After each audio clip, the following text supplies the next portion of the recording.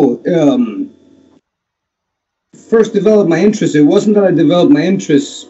It was that I was exposed to it by becoming involved in punk rock music in 1986. And then, you know, I, I started with Sex Pistols and Basics and that. And then, uh, well, my first punk rock tape was Dead Kennedys. So it's already going through the American filter. And then the skinhead movement had come here. If you watch like the Warriors movie, that's like 70s and uh, it's all kind of been an, it was all like an amalgamation of all skinhead culture in one sense because the Nazi skinheads not had not come out yet. Because if you talk about late '70s, Ian Stuart is still like Skrewdriver wasn't even the white power yet, so it was all kind of the skinhead thing that came over through punk rock. So I think that there's a big disconnect in that, which is that all my hooligan friends, they talk about boot boys and but they don't like the music. They listen to Oasis and Happy Mondays and they don't understand that there's a connection between punk and like rock and hard rock music. So with that being said, um, I, I got into punk from coming from a lot of other hard forms. My parents were hippies, so I listened to their psychedelic rock. Then I got more into like heavy metal, Motley Crue, Wasp, and then you know, 1985, uh, 1984. A lot of people see my picture. It's posted, and uh, you know, I have a Motley Crue shout the devil shirt, long hair. I'm 10 years old, and I thought that was the hardest thing. But then I found punk so then Dead Kennedys, 1986, and then I found Sex Pistols. So then Sid Vicious, and then I buy, you know, I have a Sid Vicious patch on my back. So little by little, to the punk rock, the skinhead thing had already evolved, and the the Nazi skinheads had come out. So then Sharp had not even come out yet, because we're talking about 1986. But I knew that there was in my area Nazi skinheads and anti-racist skinheads that were fighting a war and it overlapped and intertwined with all the gang wars that were going on, like Latin Kings, Folk Nation, Zulu, all these other gangs that were out. It all overlapped. So then, once I got to punk and I went, I, I didn't know about skinheads. This is now 1987, my first big show, Circle Jerks in Seven Seconds.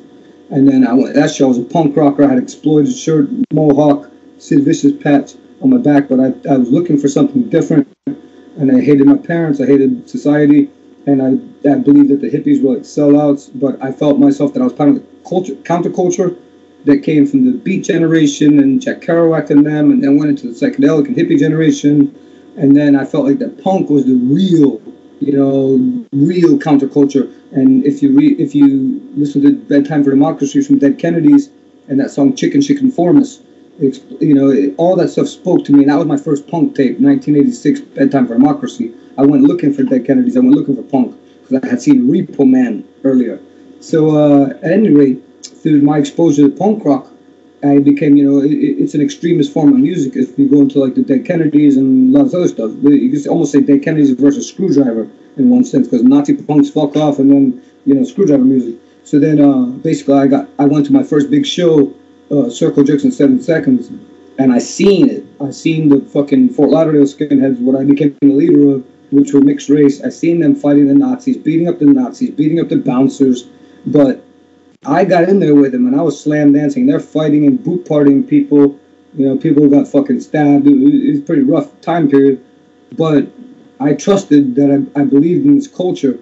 And uh, they, you know, they picked me up if I fell down. I was a little 13 year old kid. I was smaller than everybody else too and I knew I found my calling. And then just little by little, I evolved into the into the skinhead thing. And uh, to me, at the time, I just saw it as a harder form of punk. But Sharp had not even actually come out yet. So then by 1987, I thought Sharp was a big thing. It actually came out in 1987. But the Fort Lauderdale skinheads were already doing that because the leaders, Scott Shucker, Jewish, uh, Spot, African, Moroccan, and uh, before that even uh, Steve Canzone, Skin Zone, it was already like an anti-racist scene long before anybody in like uh, New York came out with Sharp 1987 or the Minneapolis guys came out with the Baldies in 1986, which became ARA, Anti-Racist Action, which was the equivalent of the AFA, Anti-Fascist Action, long before Antifa was thought of when it was still Anti-Fascist Action. So as far as the hooliganism goes, then once I progressed past like Sex Pistols and hardcore punk, then I started seeing that the Oi was the real deal. And then, so already by 1987, you know, I, I, advanced quick, and it's funny because now you have the internet, and these cons- these kids don't even know anything. But without the internet, I was able to get all this music because I went and sought it out, and we went hunting for it. But I had Cockney rejects back then, and I didn't think it was that tough because the music is you have to understand it. It's not as fast and hard in one way. But uh, they were wearing the, the West Ham logos, and and the thing is, my first football match, as you know, was 1979 which Fort Lauderdale Strikers. I saw George Best play. So the Manchester United logos. I was always into British culture. My parents were hippies. My my uncle lived in London, so I was always like acclimated towards British culture. So the logos, and I've always liked like old school stuff and coats of arms and so forth. So the Manchester United logo always spoke to me, and it was around me. I realized as a three, you know, four year old kid, five year old kid, and then with the punk rock, I just knew that there was something. Once I saw the skinheads in action, and I saw the football logos, I didn't really like the oi music yet because it was like regular pace. I only wanted like really hard, fast stuff.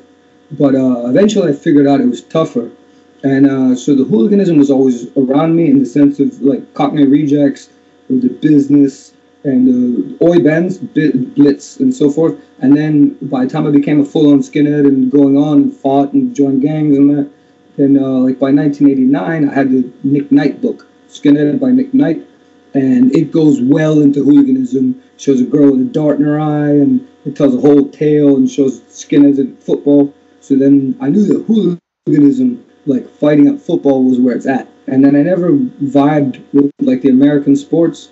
I always hated those people who are jocks, who we call jocks. Jocks here means Scotland. I love Scottish people, but uh, all those cunts were like the people who are the bullies in high schools and the people who run the government, like Democrats and Republican type of people.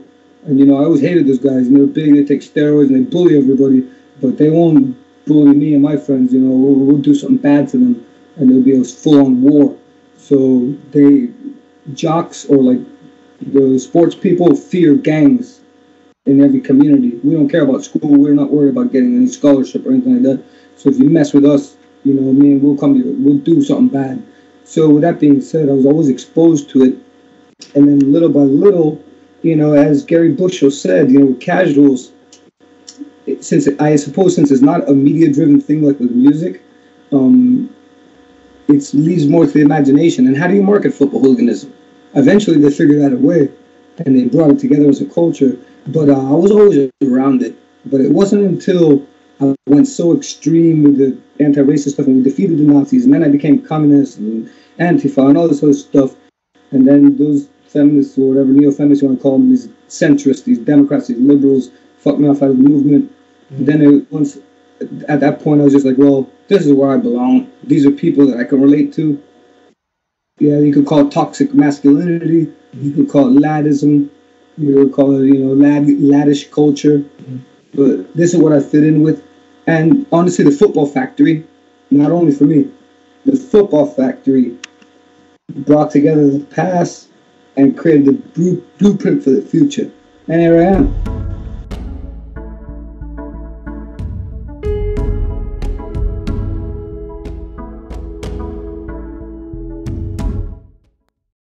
Well, it's an interesting question because now the Vice documentary has come out and the question is being raised and if you look at the Wikipedia entry about hooliganism, it has America first in one sense. So it's like the idea of just what does the, what even defines hooliganism? Is it just fighting at sports? Well, America would be much more severe than England. We destroy cities over it, and there's all these incidents, and that's what America's trying to like. People are trying to decipher what I'm doing from America. Like, yo, you mean Raiders and New York Jets and Boston like people get killed over that and shoot each other and stuff and tear up cities proper, not just break up windows. But simple violence is not hooliganism to me. Whether it's Russians, whoever it is, there's a culture, terrorist culture. When you say terrorist culture slash hooliganism, football, it's an English thing. And an ultra is an ultra, a barra brava is a barra brava. You know what I mean? But they're not hooligans.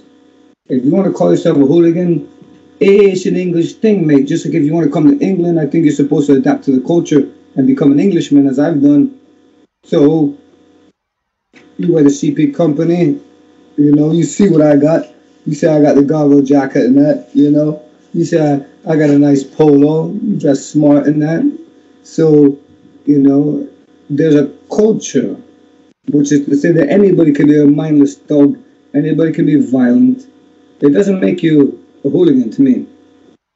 If you want to be a true football hooligan, there's a culture and there's a history of the firms that you must pay respect to. For example, the Scottish, Jocks and English are together, obviously, but there it, it was you know hooliganism come from England, and they're right there, but they're, they're it's inseparable.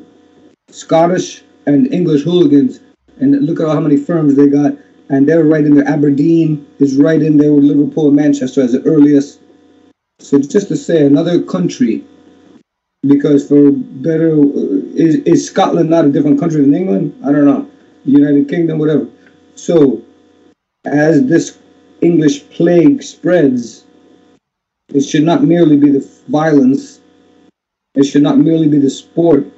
There's a culture. There's a language to it. So I think that the Russians, they openly, in their own words, if you watch their videos, they copied, and the German, they copied, and the Dutch, they copied and the American now, me, is copying. The difference is, is that the American hooligan scene, which obviously wasn't discussed in the Vice video, because it's too small, it's too short of a video to talk about everything. But there's been a hooligan scene long before I came around in America. But it's led by Barra from South America and Polish Ultras. You know, I'm the only one in America that cares about the authentic British style so we're talking about style thing. This is what I say about British gangsters. It, it, it's a bit more sophisticated. It's, it's got a bit of style to it. Anybody could be a savage, but not anybody can have the hair off to the side with a suede head style with a CP company and look good while you're doing it. It's about looking good while you fight.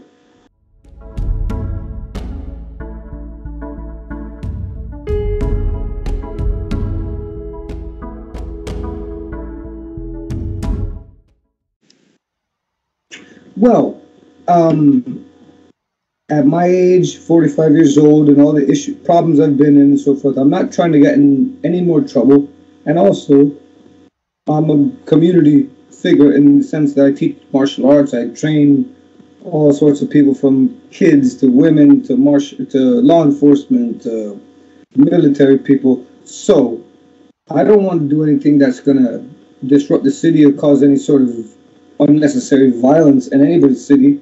However, there is a group that, or let's say there's a faction or a, a segment of society that are young men that mm, have aggression to let out and that like this sort of brotherhood and so forth. So one thing is, say, "I'll go join the military." Well, to what? To go kill people in another country over politics? Well, we're not killing anybody with football hooliganism, although it may get go further, and that's the problem. You start using weapons. You start going further and further. You start attacking pubs. You start uh, uh, involving innocent parties. So if it was on as it is on paper, if it just could be a firm that would see another firm and you go somewhere else, and no uninvolved parties would be injured or anything like that, then it would be fine. But it's not like that. The fact is, you're smashing people's pubs that are working class people that have nothing to do with it. So as far as you know, lads keeping it alive and doing those things, taking people's ends, fighting at football, you know, I'm not stopping them and I'm not telling them it's the wrong thing to do. But what I'm doing is a defensive thing. If you look at the Millwall 1977 video, at least the way it's portrayed, you see that there's the halfway line and you see that there's the the treatment firm and you see that there's the F troop. It says F troop are the nutters, the psychopaths. They go looking for a fight. So my IMF firm is not that. And then you see that there's a halfway line. Younger lads want to prove themselves. My firm is not that. But then it says treatment will go anywhere where Millwall and where Millwall supporters go, and they don't go looking for a fight, but they're always there if it happens. That they're defensive firm. So then my idea is that I'll go with my supporters men, women, children, the team, because you already know English player, what was it, Chelsea, got stabbed recently. So that, that shouldn't happen on my watch. So it's my firm is defensive. And your football firm, in one sense, acts as an auxiliary police force because it's not the police's job to protect football supporters from the the city that you're going into, especially when things have happened in the past and other clubs have done bad things there.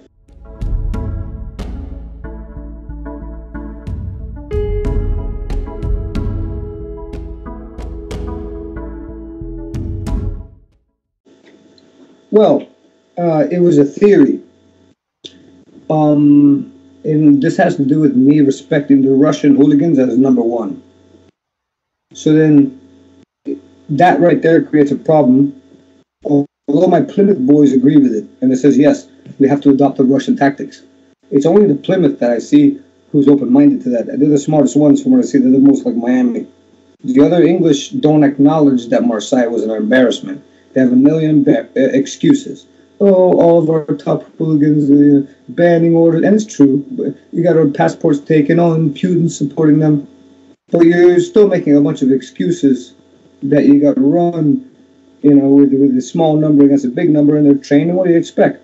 Sorry, these English lads, a lot of them are just a bunch of pissheads.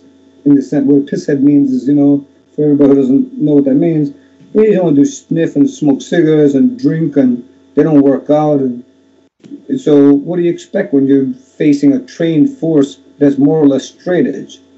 You know, because what I see is like all these Russian hooligans actually are in straight edge culture. Besides that, they're fighters, like MMA fighters. And then you got Muslims who, for all intents and purposes, Islam is almost like straight edge, which is so you got people who are not doing drugs and drinking and smoking cigarettes and doing all things and getting pissed up and not focusing on sex and they're just interested in fighting and training. Well, how are you going to defeat a force like that? Just going to hope hope to do so what by weapons and stuff. So, you know,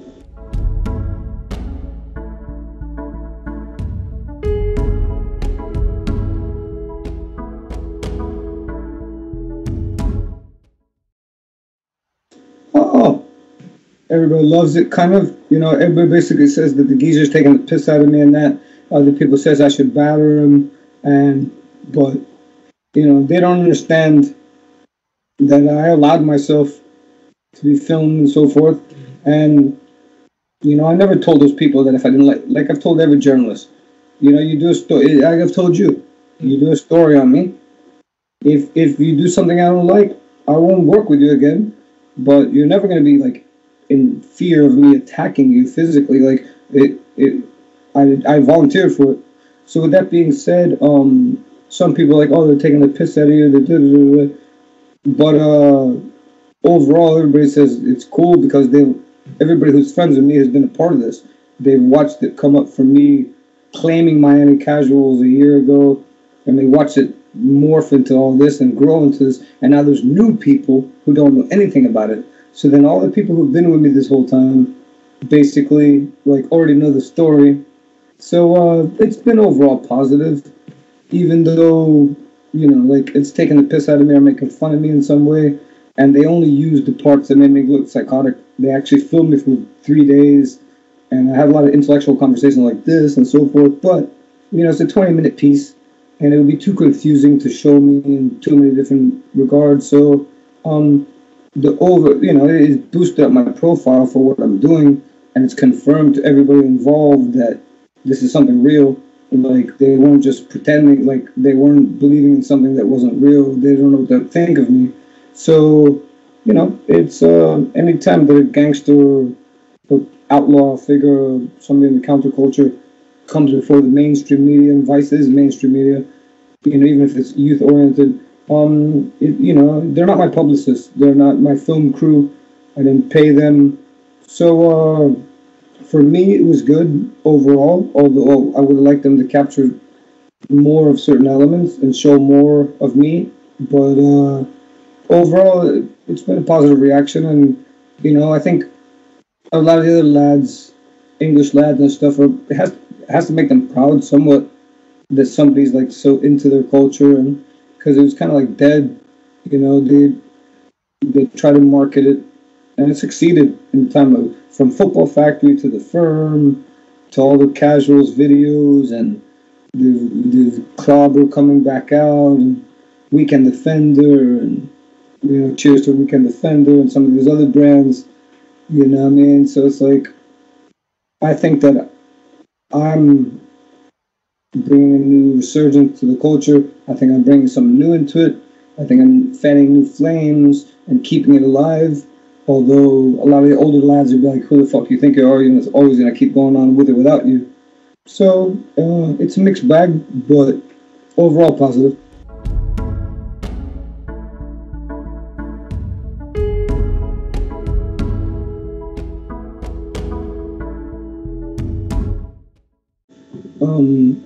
You know, I, I I came to meet these geezers and join the firm. Hopefully, if it worked out, and uh, it was more than I thought it would be, and had to go through a bit more than I thought. But uh, you know, when the dust settled, and they accepted me in, they gave me my badges and gave me my clobber, gave me my jackets and that. Um, you know, I love it. I, I, I feel like I'm the first American you know, other Americans have been associated with hooligan firms through music or whatever like that, but I think I'm the only one who's ever actually come here and like actually done it, done it, done it. And uh, so then, you know, I utmost respect for Central Element, TCE, goes back to the A38s, even before that, a crazy gang, you got under fives, you got TYE. So I don't know, this is what I meant to do. I didn't know it was going to turn out this way. You know, it, it wasn't easy, but uh, here I am. I joined the English hooligan firm.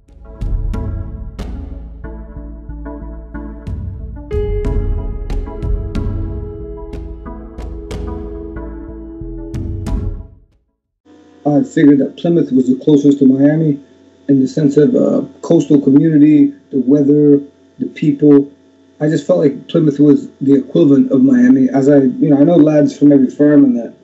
And then uh, after moving here, it's a tough area. People might think it's not because there's not a lot of stabbings or shootings, but people don't really talk. If you if you grass here, if you call the police here, it'll be a problem.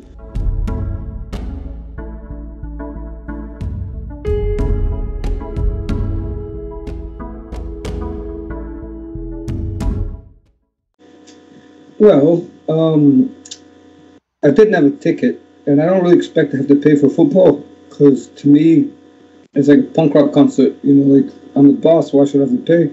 But it's a bit different. The hooligans still have to pay for for their football tickets. It's a bit different in America. Anyway, so then uh, I just went out with the boys would be at the pub and, uh, and I met up with the youth. I'm not gonna say which firm because they don't want to be publicized. I met up with those boys. They knew who I was took pictures that. And he says, "Oh, you're going?" I says, "Yeah, I want to go." So then I, I neck my bottle of Lambrini. They said, "Don't drink that; it makes you look like a tramp." So, and then he says, "Yeah, was trying to get me a ticket." Once we walk up to the front, I'm walking with all these young boys, and uh, you know these guys are 16, 17, I think 18 and stuff. And once we start getting to the front, uh, as it is, the bill, the police is looking at them and stuff because they know who they are know, the troublemakers. And he says, "Oh, mate, why don't you just go under? You just sneak in, you know?" I says, "What'll happen when I get arrested?" And he says, "No." I said, "You just get chucked out." He says, "Yeah." I says, "All right." And then we had a whole scheme. We had it all worked out that the guy was going to go in front, guy was going to go back. But the problem is they sort, they took me out. The bill separated me from them when we walked up, and then I had to do a junkie stunt what we call junkies, not like a crack out move, mm-hmm. like act like, and then the fucking turnstile is different. I never seen the turnstile like like I've seen ones in New York similar, but this one went so low, and I and I just said fuck it, and the person collecting the tickets is right there. I, did, I tried to duck under, and I did duck under, but bang, bang, bang, my shoulders are too big. So I come up on the other side, police are all over me, blah blah blah blah. But I talked to them; they were cool about it. But anyway, so it's just like, and the other boys try to come up and say, no, no, no, let them come in. And uh, anyway, it didn't work out. I got kicked out, but they were friendly about it.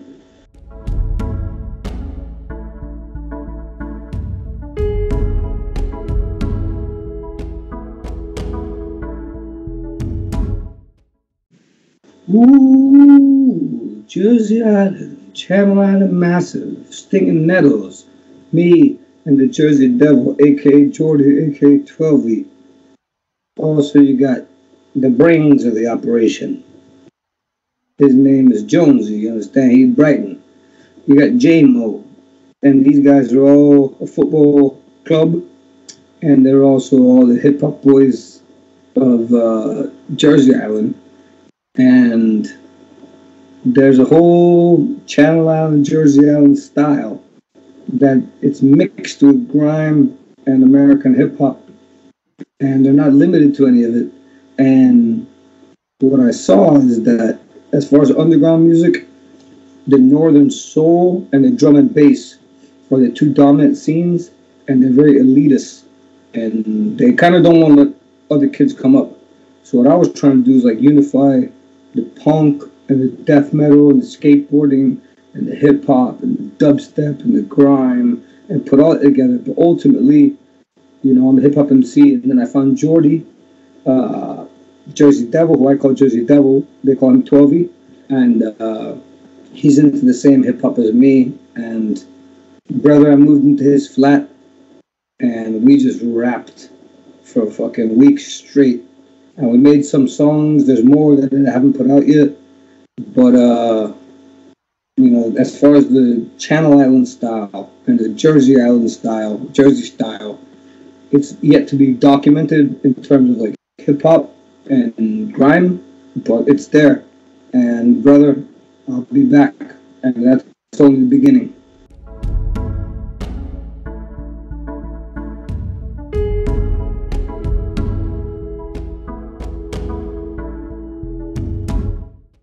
I walked around the whole neighborhood extensively all day. I stayed there like eight or nine hours, and uh, I just kept drinking cans. I didn't see any pubs, like two pubs, and the only pubs I saw, I didn't see anybody like in there. But I went on both sides. I went in a tunnel, and there's a whole area of graffiti. And then I went to the front before the match, because there's a cafe right in front of the stadium. But then I you, you can't buy cans around there, so I kept walking up to the front where all the fans come where they're selling scarves and that, and there's a, like a T, and it leads to the stadium. So I just stood there, but I saw everybody approaching the match, but I never saw any firm. I never saw any lads. I saw like families and like two or three people, and I was hanging out in front of the cafe. Before I made the first video, I was hanging out in front. I met some skinheads, but they didn't know my video. They didn't know about hooliganism.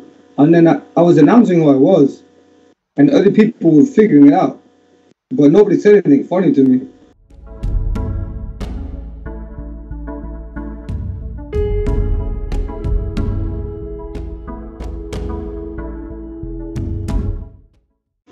Well, Antifa, Antifa means something different to the general public in England mm-hmm. now, because I don't know that everybody knew about it in the past, but as you know, and I've mentioned, there's four manifestations. There's the original 1932 Acción Antifascisti, where the flag came from, which was a, the the Communist Party in Germany, the armed wing against the Nazis. Which, if that original Antifa would have won, there never would have been a Holocaust. So, but obviously, we're defeated, and Nazi Germany became Nazi Germany. So then, the second manifestation is 1985 in England, Anti-Fascist Action AFA. So then we were parallel to them, basically all the toughest punks, which became anti-racist skinheads. We all fought a worldwide gang war, a nationwide, international gang war against the Nazi skinheads, and we created all these different movements from anti-fascist action, the second generation, 1985, angelic upstarts, oppressed, rest in peace, Mensi, word up to my main man, the godfather of Antifa, which is Roddy Moreno. People don't even know there is such a thing anyway, because they're a bunch of fucking liberals and college kids that like copied our shit, and now we're not even involved in it. So no wonder they're losing, because these cunts don't know how to win any war because all they're doing is relying on police. We didn't rely on police. We defeated the Nazis at their houses and fucking the club to club. So anyway, then you get the third manifestation, which is when they started saying Antifa, which is like 2000s in Germany, and the anarchists and other people started coming in and basically expanding the definition of what fascism meant. And then I kind of saw all that happening, and then we had already like defeated all the Nazis nationwide. Me and all the different anti-racist skinhead gangs and hardcore crews like FSU and all these different skinhead gangs from across the country, and we joined with other black and Latino gangs, and we defeated the Nazi skinheads. And then once we had them defeated, I got further into the leftist side of it, and then I was like saying like, "Yo, we need to like unify with these other people and everything, and overthrow all of it." And uh, that didn't work out because a lot of these so-called leftists, they're actually centrists, they're liberals. They have a lot of stupid ideas like overthrowing patriarchy and being against hierarchy and lateral organization. And they looked to the Spanish Revolution, which failed. So, anyway, it, it was a flawed idea, but uh, what I knew about anti-fascist action was the 80s. And then we were ARA, anti-racist action. We were sharp, skinheads against racial prejudice. We're the ones who defeated the actual Nazis. And then later on, once we had them defeated, I saw the stuff happening in Europe. And at the time, Antifa was like a little joke in America. There was like 50 people, and they're like girls and like I don't know, soft people that no no skinheads respected, and it was just within the skinhead scene. But there were some tough people, like Jose Antifa. She did like my some of my friends was like Rash. Rash is what started Antifa in 1993 in New York City. Red and anarchist skinheads. So then I saw that, and then I was getting deeper in that, and some of my friends were saying like, "Yo, you don't have to be a communist. You don't have to be an anarchist. It's just the opposite of Nazis." And I was like, "Okay." And they always called us communists anyway, so I was like, "Okay, I'll be a communist." So then, little by little, I, I, I sought that out, but they they were scared of me joining. There was only like 50 people in it, in the whole America. They were scared of me joining because I was a Stalinist. I didn't even know what Stalinist was. But then once they called me a Stalinist, I was like, okay, that's what I am. So then once I joined, then I turned that Florida into that, and we became the strongest chapter. And then I tried to spread it all across the country, and I did. When I went to LA, there was zero Antifa. When I went to Seattle, zero Antifa, 2013. When I went to San Francisco Bay Area, zero Antifa. I started teaching them all about it, but all of them thought it was a skinhead thing. So I was like, no, look at Germany, look at Europe, like it's for everybody, it's for anarchists, it's for everybody. So I seeded it, and then I went to the first Bay Area before the. So I participated in Black Bloc stuff. I'm not gonna say if I was there or not. So Black Bloc existed in Seattle, Black Bloc existed in Bay Area, Black Bloc actions had existed in LA, but they had nothing to do with no anti-fascist action. So I went and hung out with them, and maybe I did some of the stuff with them. And maybe we destroyed areas in Oakland and San Francisco that are on video. I'm not gonna say I was there or not. And then I started telling them like, "Yo, Antifa is for everybody. Antifa is for you as well." So then I went to the. I was at the first meeting of Bay Area Antifa. You know, in Berkeley. Actually, it was in San Francisco. And none of those geezers were had ever been involved in it. Like they all learned it on the internet. I was looking around like, their boots and braces, my patches on my flight jacket. I got Antifa fucking like propaganda on them. Like, yo, who who do you know? I'm like, all you guys learned this shit off the internet. I thought they're all cops. And I was like, fuck this shit. And I was like, yo, man. I was like, who's ready to fight one on one to join Antifa? I'll fight you right now and initiate all of you. They're like, oh, what do you mean it's not about that? I'm like, what? Okay, so you, you want to you say you're gonna fight against cops and fight against Nazis, but you won't fight me now one on one right here. The loser has to buy the with beer. And so anyway, so I spread it, but it was it failed. And then uh, as a result, you know, time went on, and these neo-feminists and these liberals and these Democrats and George Soros or whoever basically pushed all the real antifas out of the movement. So now I got nothing to do with the so-called U.S. Antifa movement.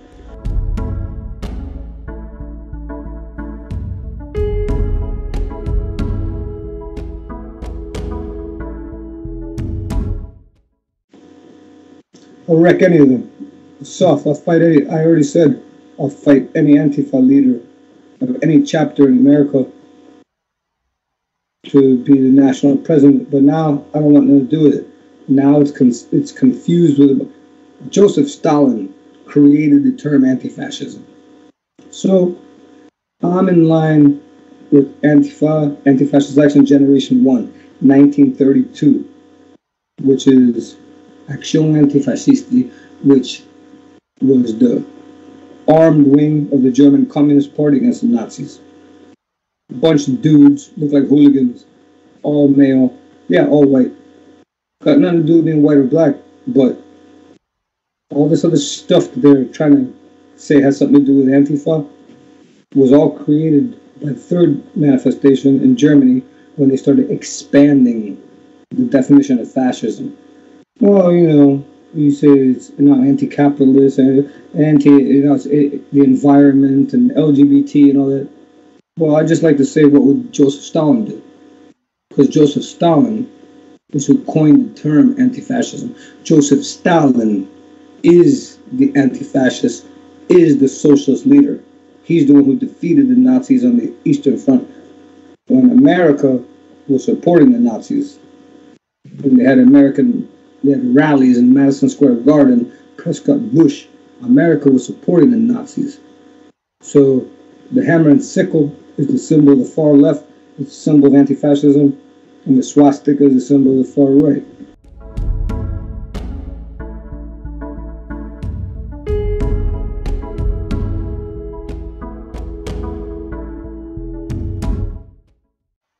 I'm a scientific socialist. Can you show me good on a meter? Can you weigh out good?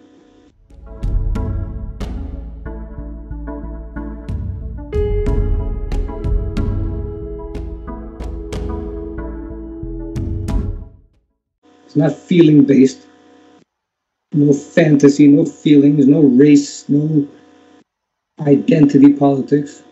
It's what's logically pragmatic for the survival of the state and the overthrow of the ruling class from the working class.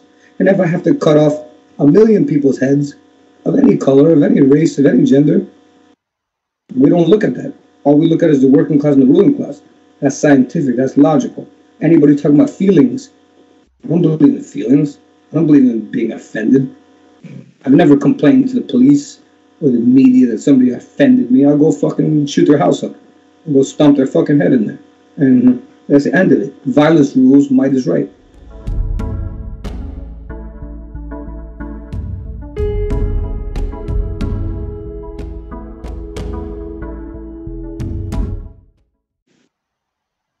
It's supposed to be a gang.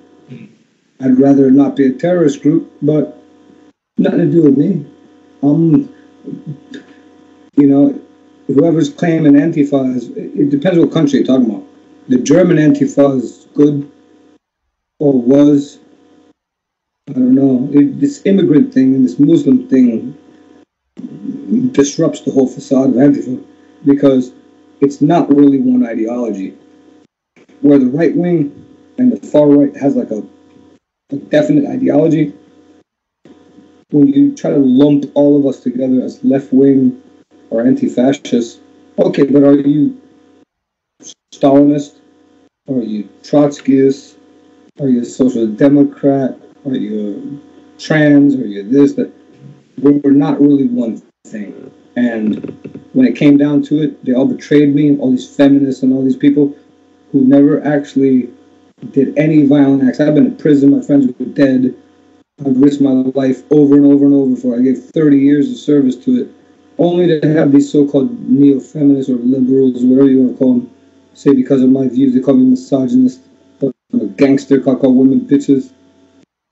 I don't call your sister, your family, your daughter that, but I'm from, stripper girls, porn bitches, they're not going to respect you if you don't treat them that way. They'll think you're soft. So, you know, it's it's what they, I guess it's what they deserve, which is going to be what's happening. The far left and the far right taking power.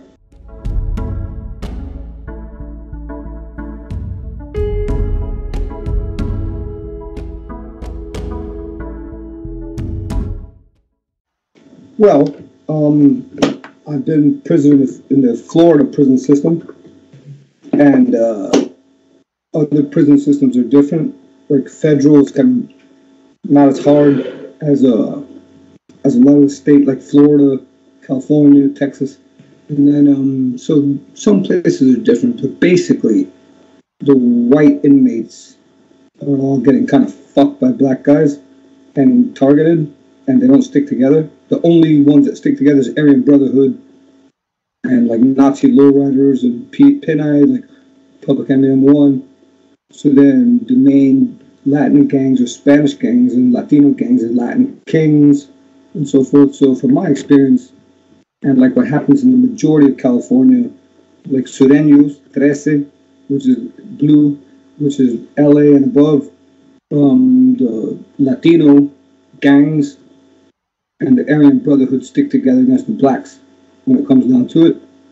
So then I got sharp, I got anti racist tattoos all over me.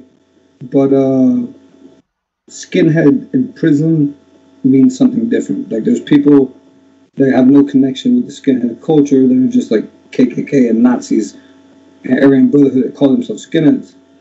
So then if anybody wants to be an anti-racist skinhead in jail, good luck. Well, for me, I'm already Latino, so instantly I go with my Latino people, which is I'm a Zulu, but you know it goes with Latin Kings, Folk Nation, Ñeta, Familia. It's going to be all the Latin gangs sticking together. MS-13, Dieciochos, 18th Street. So we're going to be the ones with all the knives, controlling a lot of the drugs. We'll stick together against the blacks anytime. And then I've seen that the whites Aryan Brotherhood rolls together with the Latinos against the blacks. However, in Florida, the Miami blacks is the strongest thing. So then I know a lot of those dudes because I'm from Miami. So then I would roll with them. So it, it's a bit complex, but uh, basically the Nazis would see my tattoos and kind of like check me but I'm already with all the Latinos who, so they knew what I am, and it's a weird thing because they kind of accept me, and I'll roll with anybody like to get knowledge, you know. So I hung out with the five percenters, five percent nation, nation of gods and earth, which came off from Nation of Islam, which is a black Muslim thing. But they got nothing to do with regular Islam because they say that five percent nation Wu Tang Wu Tang, Erykah Badu, Tribe Called Quest, all the New York rappers, they're all five percenters, five percent nation, nation of gods and earth. And they believe in science, mathematics. So they say that regular Muslims, Sunnis and Shias, Jews, Christians are praying to a mystery God that doesn't exist. And to them, Islam means I, self, Lord, and Master. God is man, man is God. Allah, arm, leg, leg, arm, head. Man, so then that's considered apostate by actual Islam. So then it's a complicated thing when I go to jail because I'm weird. I'm in a bunch of different crazy gangs, and so as far as like Nazis, I've hung out with a lot of them in jail.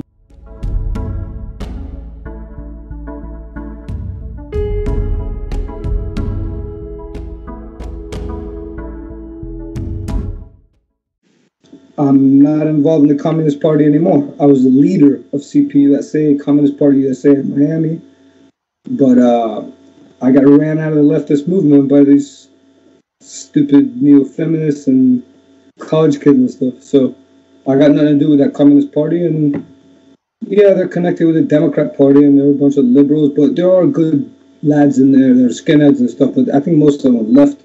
But they have nothing. None of them don't believe in Stalinism none of them are Stalinists. They're all like fucking Trotskyists, if that. I think that a lot of them are more like Democrats or liberals.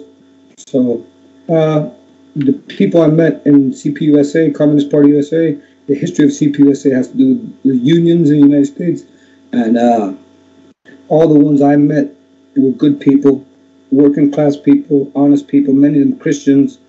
Uh, you know, some of them were violent, like my skinhead friends that brought me into it. But CPUSA, great party, good people, constitutionalists. Um, their doctrine, they called it Bill of Rights Socialism. I wanted to call it Democratic Communism, but they felt like it was a mis like a redundant, because to them communism implies democracy, but most people wouldn't see it that way. So um, I have the utmost respect for CPUSA, but you know I was pushed out, and I'm a Stalinist, and I don't have the same views as them. They're democratic. So I have no connection with any communist party at this point.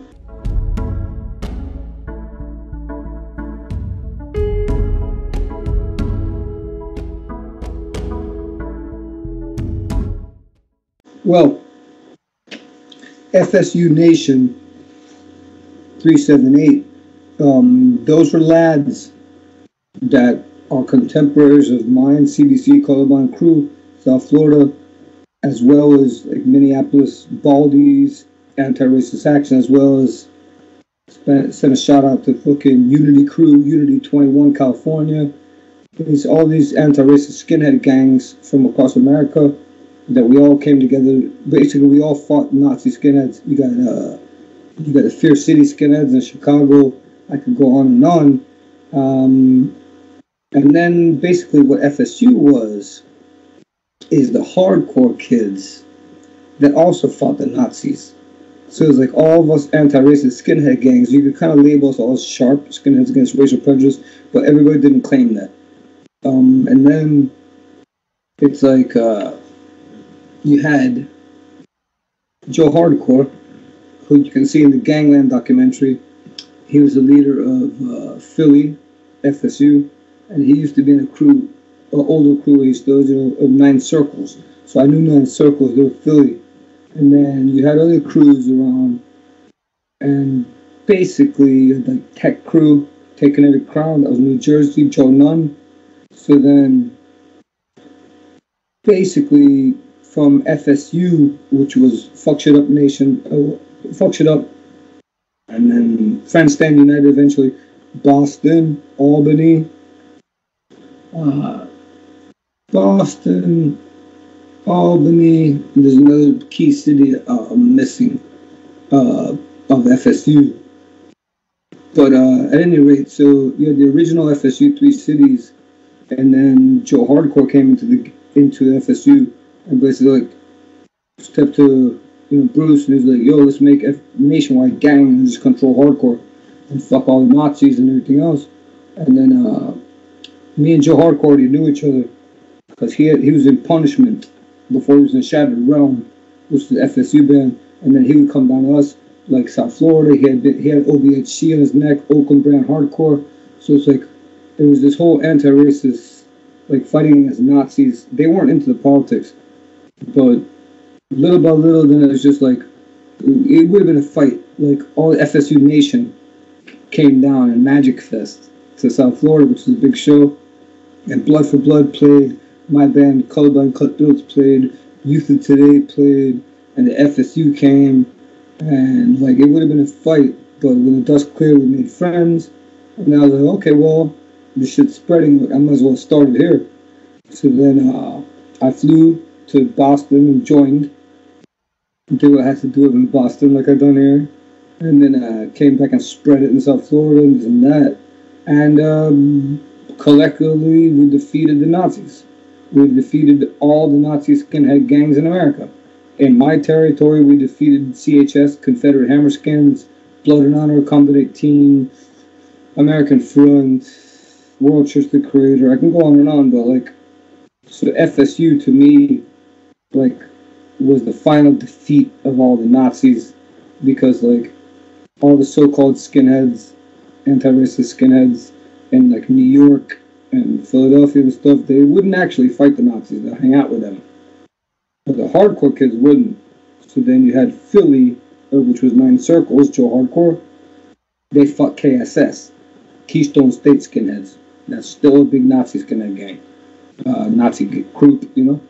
And then you had uh, Tech taking every crown. Joe Nunn, he was the leader of that. Uh, Second to None, hardcore bands like that and then they were fighting the ACSH Atlantic City skinheads, and they all came together.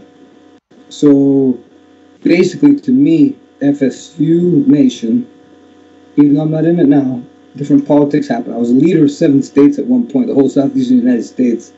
But you know, with all these gang leaders, it's never easy to organize the whole thing. So I ended up not being part of it, or, but I'm still friends with a lot of those lads, and you know, I, I still rep FSU in some sense, you know, respect three seven eight. But basically, when FSU came out, it, it brought together all the anti-racist skinhead gangs and local street gangs and anti-racist hardcore kids, and we all crushed the Nazis once and for all.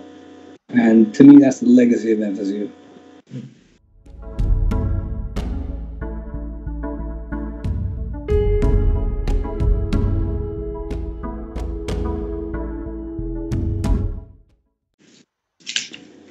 Well, me and my friends all had my boy Dennis, time Durag Dennis, he was Durag Posse, I was Zulu Chapter 3. We were street gangs, you know, from late 80s, early 90s. He was like kind of the most ruthless West Palm gangs. I was like kind of the most ruthless Fort Lauderdale gangs. Both of us would fight Miami gangs, all kind of stuff. But um, I used to actually go up there and hang out with them. And uh, they were really a bit more severe than everybody thought you know, like shooting a lot of people, fully automatic weapons, and so then uh, we had a lot of footage from going to shows. He would always bring a video camera. We had just a bunch of fights and stuff. And then I saw Bum Fights, a movie called Bum Fights. And then I saw that they had street fighting. People like bragging, "Oh, this good movie has good street fighting." And then I called him up. I'm like, "Yo, homie, you need to see this movie." And then I showed him the movie. I was like, yo, our fights are better than that, and they leased all that footage. I was like, yo, let's let's put our shit like into a movie, and I'll talk, we'll show other shit. So then that became a trailer, which is not available online. Maybe I'll put it online. It's called uh, Drunk and Disorderly. So we started with that, and then that became Dirty South Street Brutality.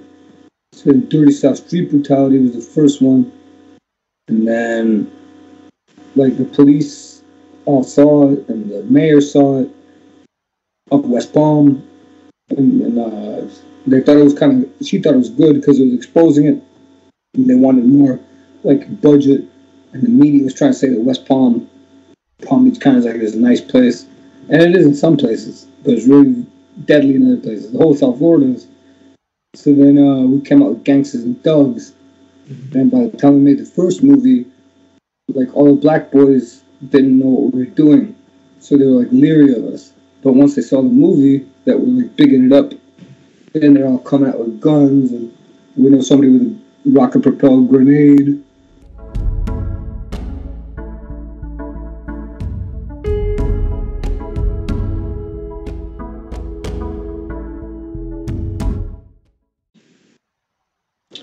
What can you expect? Expect the unexpected. You never know what to expect, you understand? The culture, the terrorist culture, the football hooliganism, that's where it's at. So, in order for me to get to the root of it, I have to take it further. Now, where that lies, I don't know. But if you're an Englishman and you're at a World Cup game, you see the Yanks coming, just take us as another local English territory because England and America is one. It's always been that way. We're both red, white, and blue. So the Yanks are coming to reinforce the English hooligans. Just remember that.